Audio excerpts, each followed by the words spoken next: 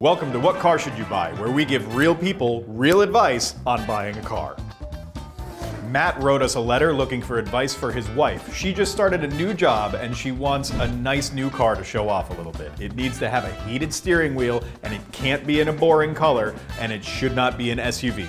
What car should they buy? I love this question because you folks are on the right track. You do not want an SUV and you do not want a boring color. That puts you ahead of like 90% of car buyers. So let's reward you. Let's give you a beautiful coupe. Specifically, an Audi S5. It seems like the perfect choice. It's a stylish car, it's available in great colors, it's relatively affordable and very luxurious, and it's got that heated steering wheel that you want.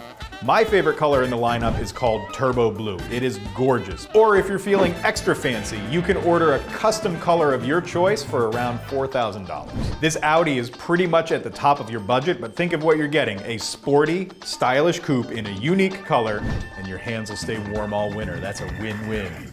So you want something compact, something fun and sporty, something that won't skimp on the luxury accoutrement something that comes in bright, out there colors.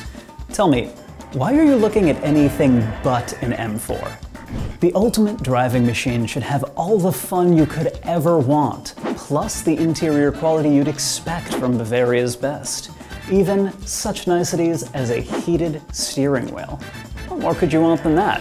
Come on now. Love it. Nice and easy.